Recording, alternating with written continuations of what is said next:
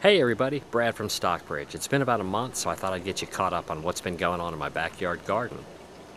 The garden is really expanding this year. I've got buckets on the main hill, and then on the sides I think I'm probably up to about 110 buckets. I still have the pepper buckets up here on the retaining wall where they'll get really warm above the compost pile.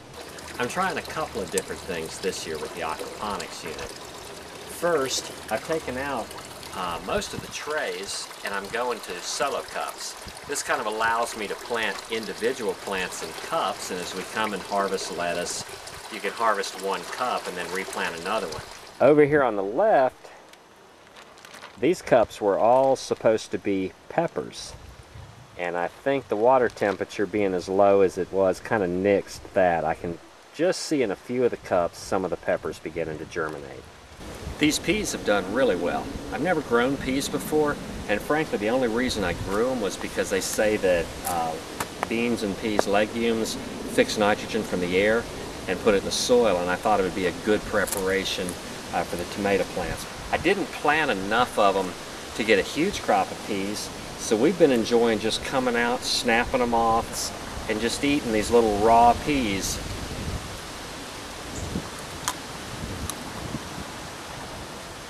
These are the bush variety peas. You can see that they're about half of the height of the conventional peas on the trellis, but they are also really, really heavy uh, with pea pods.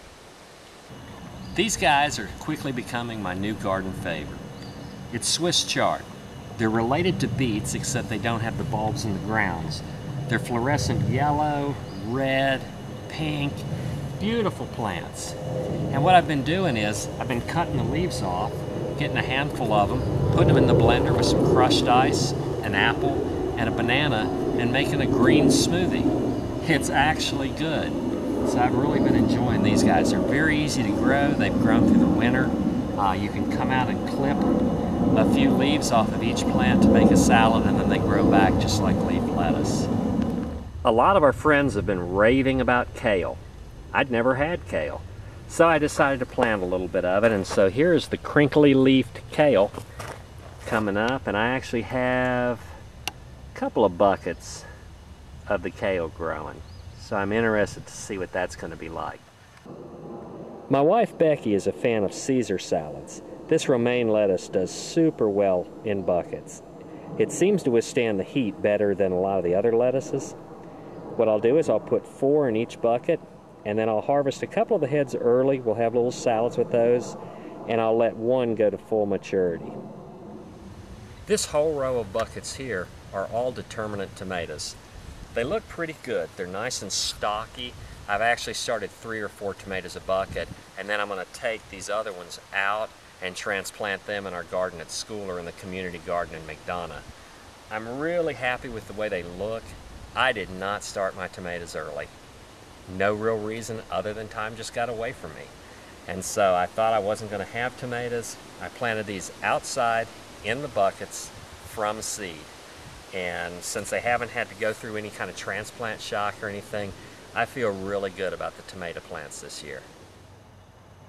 These guys are my indeterminate tomatoes. I'll build trellises around them here so that they'll have something to vine up and then I'll take some of the extra tomato plants out of the buckets and move them over and put them in the buckets where the peas are currently growing. What I ended up doing when I saw the little green worms eating holes in my cabbage was I came out here and I just squished the worms and left them there on the cabbage. Kind of went roaming on them.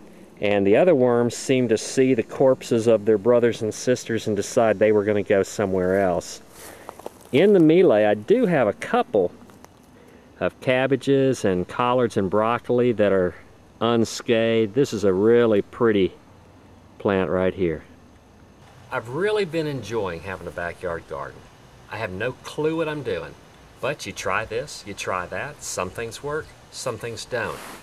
My diet has changed too, but it's not because I went to some doctor and got yelled at and told you should, you need to, or anything like that. It's just when you've taken the time to put plants in the ground and you see them grow, it's kind of fun to be able to come out, pull out a radish, You can wipe it off, you can wash it off, and take a bite.